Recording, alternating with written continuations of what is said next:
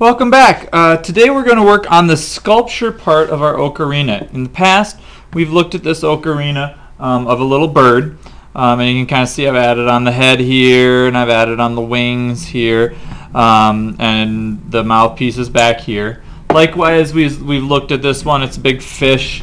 Um, it's got you know big uh, fins right on the side. It's got a big fin at the top and a big fin at the back. And so I've added all that extra clay on. Today, the idea is to make your sculpture what it's going to be. We have the basic ocarina body. You have your four holes, um, pitch holes from last time. Your ocarina should work. And today we're just going to sculpt.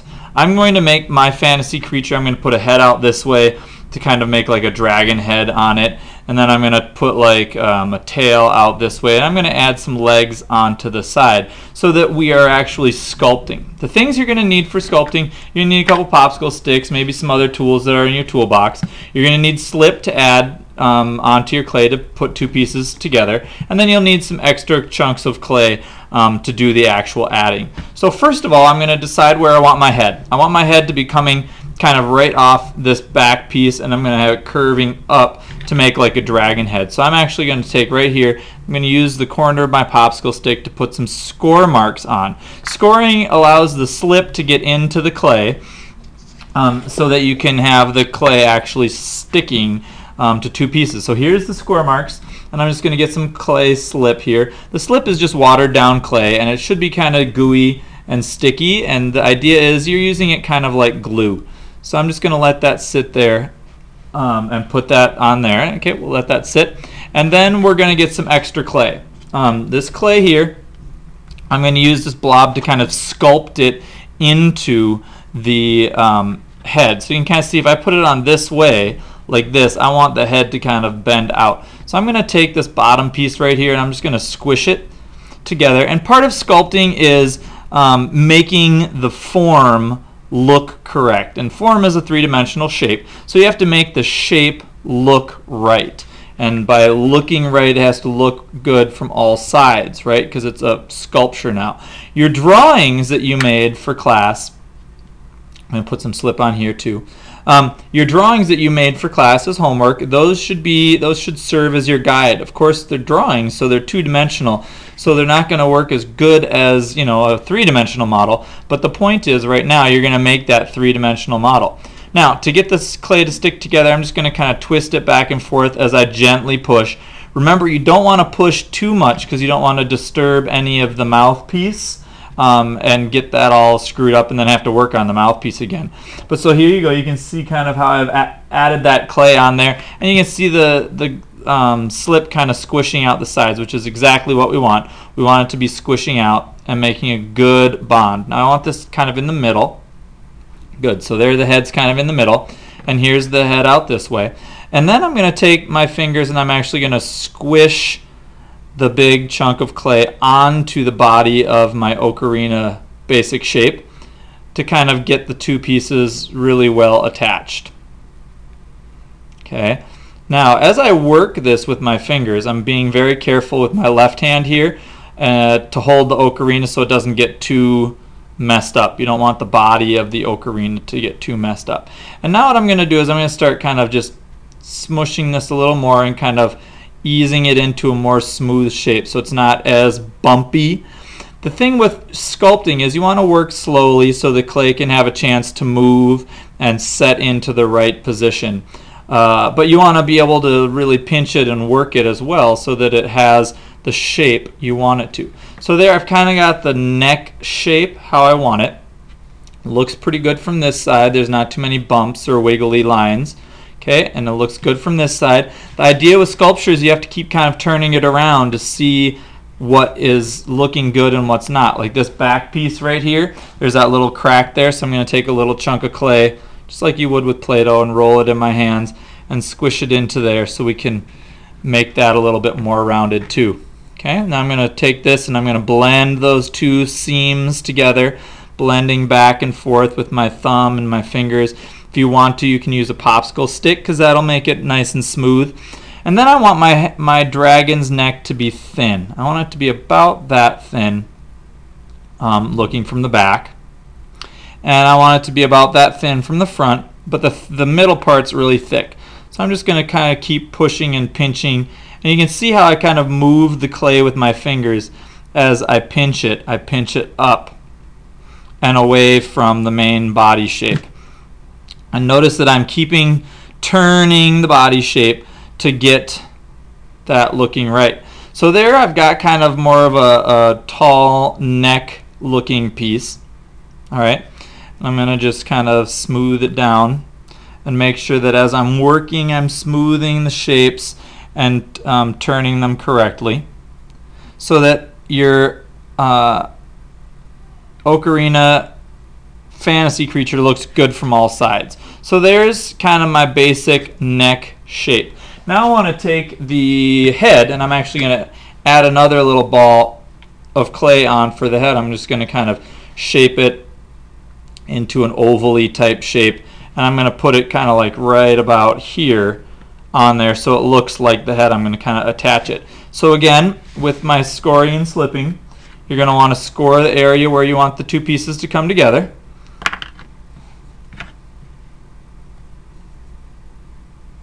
Then you want to get some of the slip and put a little layer of slip on. And then attach those two pieces together. Okay. Now, one of the things about clay is as you work with clay, you have to be careful you don't get one spot too heavy and another spot too thin because if you have it you just have to be careful of the weight. You know, this neck here is getting pretty thin for this big, heavy, bulky head that I just put on here. So I'm actually going to tilt it just a little bit back like that so that it doesn't get too out of out of uh, balance. And now I'm just going to take this and I want some little like cresting, like, um, uh, what do you call those things? Scales or armor on the back, kind of like a stegosaurus or something, like a big um, dinosaur like shape. So I want to have those sticking up. So his neck is here, his head is here. I'm going to kind of pinch it down like this I'm going to pinch up a little bit of clay here for a horn.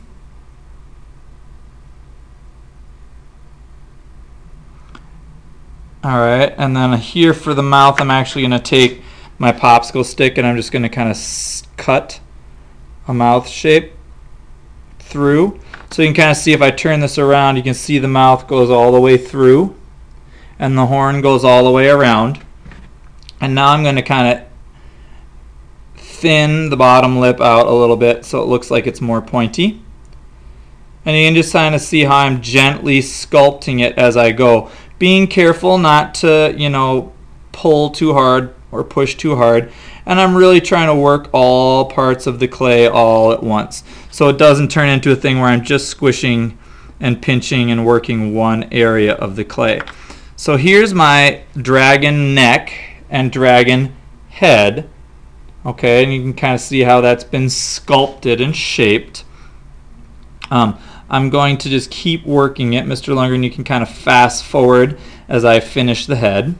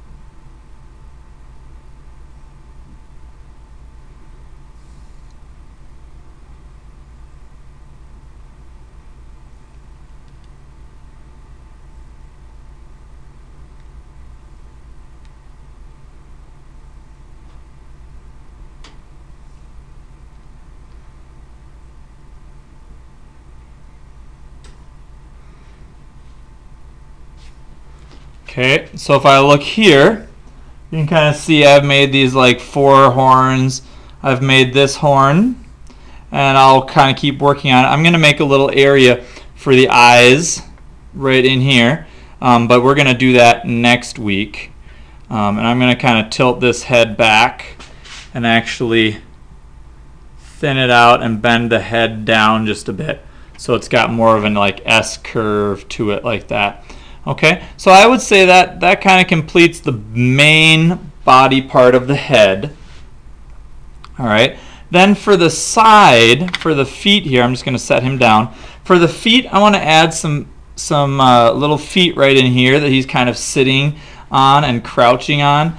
Um, so again, I'm going to actually get this whole side of his body um, wet with slip.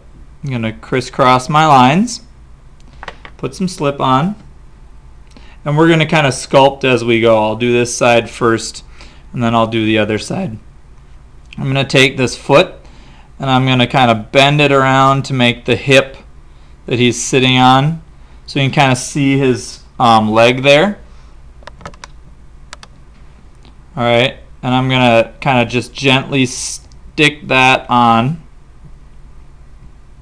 And if I turn it to the top now, you can kind of see how his leg is sitting there. Um, sorry, the light's not very good. There we go. You can kind of see how his leg is sitting there. Um, and then from there, I'm just going to work the seams together and kind of sculpt this leg around the back.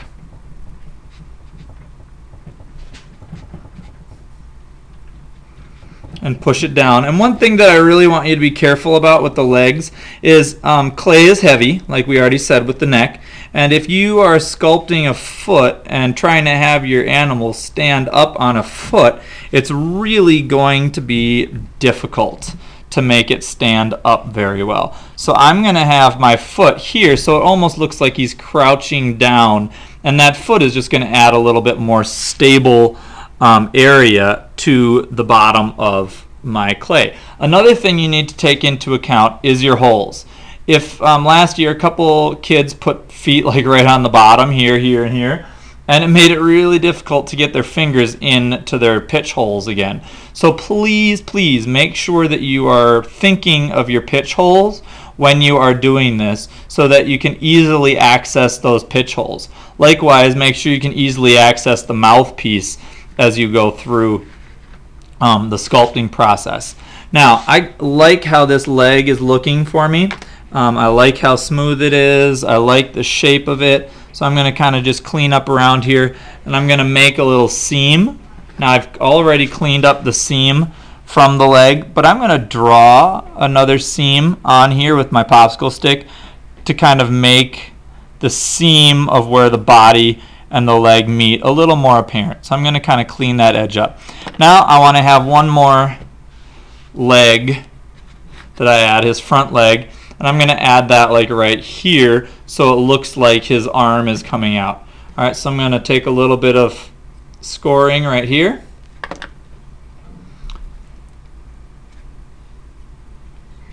And roll a little arm and stick it on the side and kind of bend it, sculpt it, shape it, blend these edges in so you can't see the original seam. Okay, and you can kind of see how his leg is sticking out there now. The whole point of this part of the project is to make something that looks three-dimensional. We really want it to have a three-dimensional look.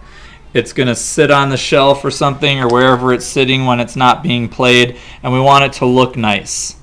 Okay, so if I turn this here, you can kind of see his foot sticking out, and I'm going to um, part it here to get some little toes.